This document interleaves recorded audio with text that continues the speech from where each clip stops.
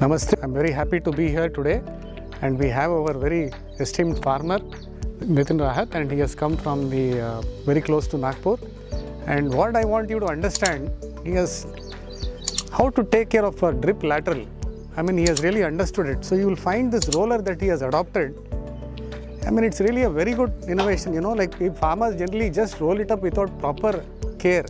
He has taken a lot of care, and now you can see with the help of this roller, he is able to completely at the end of the season roll the lateral and keep it carefully.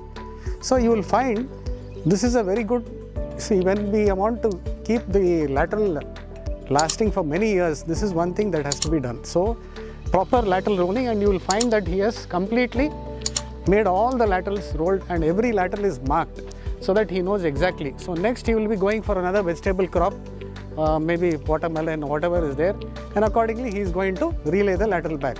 So I would really like to compliment him and uh, wish him for this very very good thing and this farmers actually should incorporate. It is not a very costly thing, it is just going to cost you hardly two or two and a half thousand rupees but it will give very much good life for your system.